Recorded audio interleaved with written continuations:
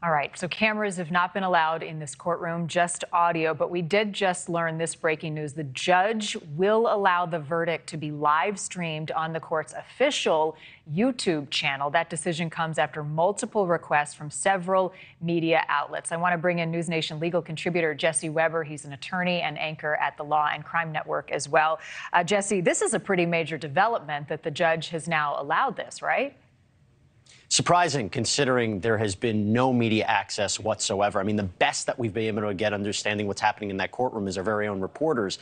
I think there's something to be said for this. I mean, once the jury comes to a decision, that's going to be it. Now, obviously, if she's convicted, there will be appeals, but I can understand why the judge would allow this in the effort of transparency. This is a very important case. It has obviously garnered immense national attention. I think there are some disturbing but important issues. And look, as somebody who is a lawyer and somebody who also is in the media, I can understand and actually recognize that this is a good decision by the judge to allow this, uh, considering everything that we have seen and heard about what's happened in this case. Yeah, let's talk about some of, of the testimony, and it has been compelling. It's been heartbreaking at every turn. Uh, the text that we just heard from Lori to Chad about this orchestrated plan um, to deal with the children, it seemed like a major piece of circumstantial evidence. Can the defense come back from this? Unlikely. And I'm so glad you said that because when the message that was just read, where it seemed you could argue that Lori maybe didn't know what the plot was regarding the children. That's one interpretation. She's asking Chad, is there a plan?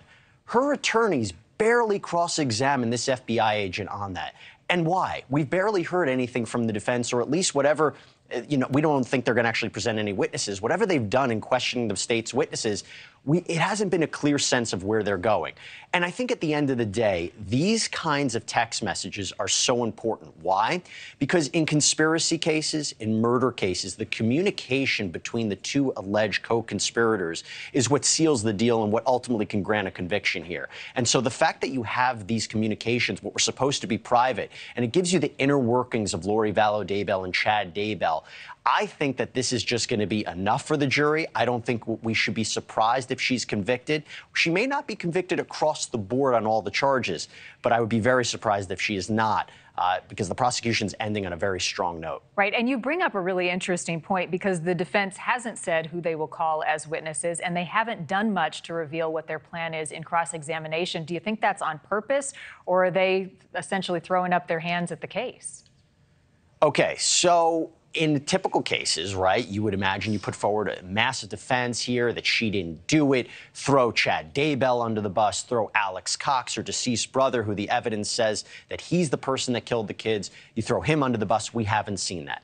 I am theorizing. I can't say this, but one of the things I've studied this case for the last three or four years. I wouldn't be surprised if Lori Vallow Daybell told her attorneys, do whatever you can but to, to, you know, fight the evidence, say it's weak, question the credibility of the people who have testified against me, but don't do anything to jeopardize my husband, Chad Daybell. I don't want to do anything to jeopardize Alex Cox. That's maybe why we kind of have this shaky defense, a kind of not clear defense.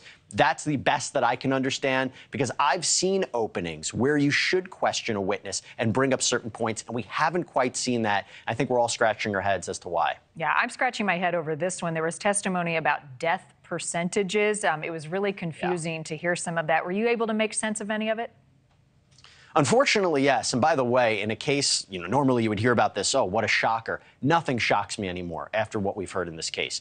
The idea here is under these warped religious beliefs is that there were percentages by which these kids were going to die. What was the likelihood that they were going to die? And the fact that Chad and Lori were questioning the percentages and whether or not these kids had demons within them and they were trying to eradicate the demons, the fact that these kids die shortly after these messages what is the defense going to say? It's just mere coincidence this happened, and Lori Vallow Daybell didn't have any part in it whatsoever. Remember, she's charged with murder with respect to the kids and conspiracy to commit murder. So they're trying to get her in a number of different avenues. But unfortunately, that's uh, that's what we're dealing here. These this this woman who's talking about the deaths of her children. Thank you for watching. Go to newsnationnow.com to find News Nation on your television provider. And don't forget to click the red subscribe button below to get more of News Nation's fact driven, unbiased coverage.